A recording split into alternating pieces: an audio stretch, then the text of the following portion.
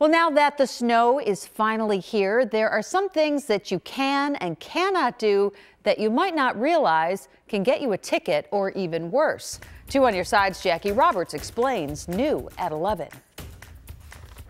It's snowy days like today that make the simplest tasks, like driving to work, a bit more challenging. And there are some rules you might not know about that could potentially get you a fine or ticket during the winter.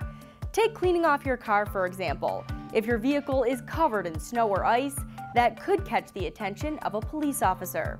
And you are looking at traffic tickets, numerous traffic tickets, depending on, you know, if your headlights are covered, that means you're going to ticket for that. Brake lights are covered, ticket for that. You know, any sort of windshield issue, obstruction of view. And not only that, but the big one is the snow on the roof or snow that's going to come off of your car. And the penalty can vary based on the severity and in some cases, even the vehicle.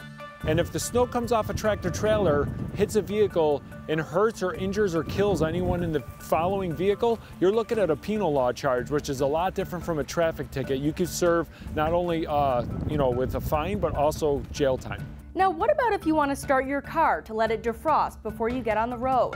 Trooper O'Callahan says that could be a problem too, depending on where you're parked there's a good chance that your vehicle could be stolen or at least broke into of some sort of malfunction, but it is illegal to let your car run sitting at any public highway. So ultimately what it comes down to is you could do that in your driveway, but not really on the roadway.